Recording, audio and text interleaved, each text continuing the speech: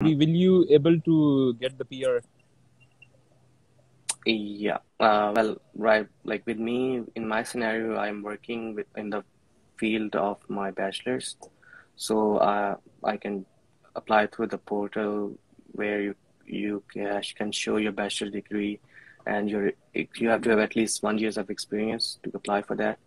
So with those two things, I can go for uh, like I'm applying through a provincial nominee program, so that will help me get my PR within before my work permit expires. How much chances are there that you will get it? I would say ninety nine percent. Like it's it's very rare that they would reject it. And if they reject it, they reject it on what basis? Normally, if you have uh, heard of any. It's mostly like if you haven't filed your taxes here during your tenure, like when you came to Canada, you have not been filing your taxes, or or if you've done any crime